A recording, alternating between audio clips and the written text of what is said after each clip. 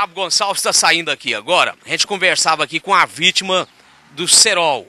E ele foi acionado agora também, problema de cerol no bairro Guarani. Eu vou gravar com o rapaz aqui e vou correr lá para pegar esse BO. Ô, ô Xinte, isso no seu pescoço. Nossa, rapaz, eu não tinha visto não. Cerol, Serol.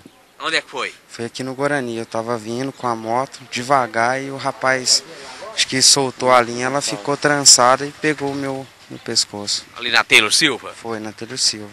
Quantos dias já tem? Foi ontem, 6 horas da tarde. E quantos pontos deu aí? Parece que foi 6. Seis pontos. Rapaz, mas passou cortou a mão também. Ah, a mão também. Porque ela pegou, né? Ela pegou e trançou. Sua moto não tem aquela anteninha não. Mesmo com a anteninha não teria, porque ela tava solta. Ela travou no capacete. Ela pegou na argola do capacete e cortou o pescoço. Sei. Deve ter, você daquelas brincadeiras de cortar a linha. Tava muito grosso o cerol. Tinha muito cerol. E você chegou a ver o rapaz, ou a criança, o adolescente? Também não. Isso já é a segunda vez que acontece comigo.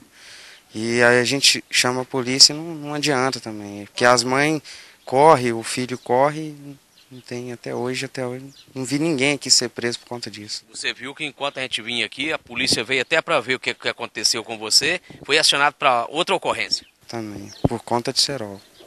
Quase que você. Quase que eu perdi o pescoço, né?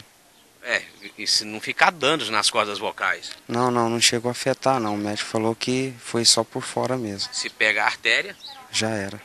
essa hora Essa hora. poderia ser mais trágico, né? A gente brinca assim, mas é para chamar a atenção dos pais que deixam os adolescentes com esse tipo de brincadeira. Pior que aqui no bairro tem até, você vê gente barbada soltando pipa aí com cerol. É verdade? Com muita gente. Já vi até, até policial, isso é complicado, mas já vi até policial que brinca com pipa aqui com cerol.